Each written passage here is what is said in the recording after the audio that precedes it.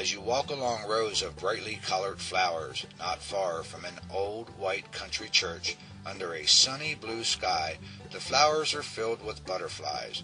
When you touch a flower, a monarch butterfly lands on your hand, much to your surprise and delight. This is only one small moment of daily life in the butterfly garden at the Aha Butterfly Ranch. The Aha Butterfly Ranch is currently home to around 25 butterfly species with its primary focus on West Virginia's state butterfly, the monarch. The butterfly sanctuary is run by husband and wife Ashley and Heather Ness, whose first name initials are combined and repeated to make the name Aha. Along with breeding butterflies and caring for them at all stages of development, the Aha Butterfly Ranch gives tours of their farm and is able to put together educational programs for all ages about butterflies and the plants they feed on. In fact, Heather taught a butterfly course at the 2008 West Virginia Governor's Honor Academy and is teaching around the state.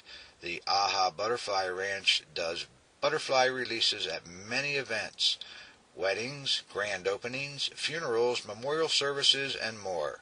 After all, butterflies are God's flying flowers. The Aha Butterfly Ranch is next to the White Oak Church, a small country church built in 1891 with a handmade organ and gas lights, just right for butterfly weddings in or outside of the church. Ashley and Heather have set up butterfly gardens at schools and businesses across the state.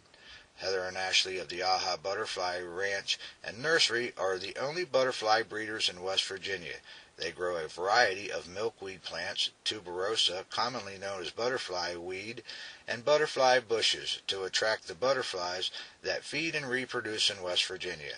Ashley and Heather also breed and care for butterflies indoor in climate controlled conditions, making sure of healthy butterflies for releasing.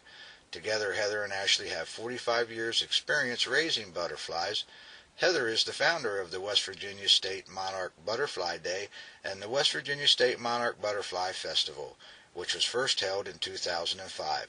The festival's main attraction is a large walk-in tent filled with butterflies which flutter around and often land on those in the tent. People at the festival also watch as hundreds of monarch butterflies are released to fly away into the sky.